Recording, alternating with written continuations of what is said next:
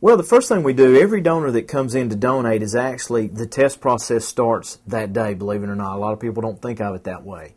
But we prick every donor's finger to check their iron level. Uh, and we do that either through a hemoglobin test or hematocrit test. Different places do different things. Uh, so we do that test that day, and that lets us know if for that day your iron is high enough for you to donate blood.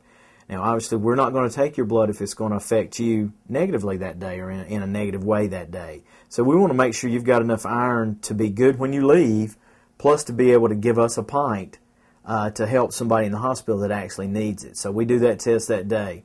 There are uh, standard tests that we do to every unit of blood to every donor, no matter if you've donated one time or 600 times. You have the same test going on every time.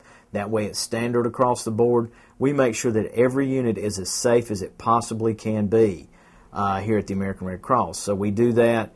You know, some of the reasons our donors are deferred, you know, it can be reasons, you know, such as travel, hepatitis, you know, other things that come to play when the tests are done that lets us know this is not a safe unit.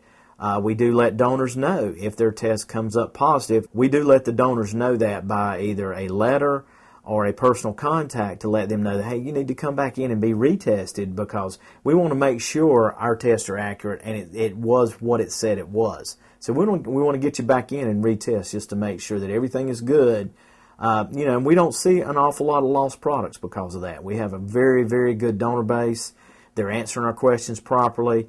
They know, you know, if they've been in places or in situations, you know, that might be cause for deferral, and they don't give, you know, and most, you know, everybody's honest on their answers that we get, uh, we believe, and that, that makes our inventory as strong and as safe as it can be. So we do as good a job as we can do with the test and, and, and our donors that are coming in with us and answering our questions properly uh, to do what we need to do, and that's maintain a safe blood supply.